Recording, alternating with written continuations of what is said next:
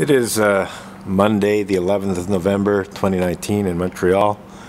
Uh, it's just about noon. We're looking at the transit of Mercury across the face of the sun. Earlier today, the sun was completely hidden behind clouds. And then I guess around 10, 10.30, it started to poke through a bit. So I was able to get some photos through the clouds. Now we've basically got haze but not much in the way of clouds. Um, so basically we got the sun,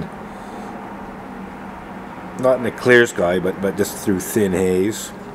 So we're using a solar filter, which is way too powerful. Uh, basically it's like you can't even see the sun, uh, even when you're pointing right at it, hardly uh, when it's not completely, uh, you know, like unobscured by clouds and that. Got an aircraft coming. I don't know if it's going to pass in front of the sun or not. Looks like it'll go below it. But, uh, yeah, so we probably won't see it. Anyhow, yeah, so an aircraft passed below the sun. Um, so yeah, Mercury should be there, uh, sort of to the middle right of the frame, and uh, we got about another hour of transit left, if I am not mistaken. Um, but uh, yeah, I'm sort of kicking myself for not uh, doing more preparation earlier. I sort of had other things that I was doing, including documenting a Remembrance Sunday events yesterday. Um, and so I didn't uh, fully prepare for this. Um, and there was some uh, equipment, such as a less powerful neutral density filter, that I wasn't able to find. So we're just getting by with uh,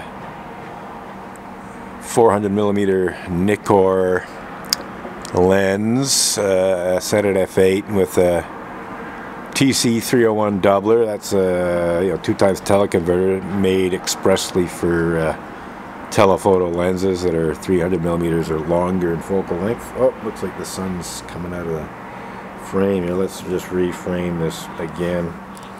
Um,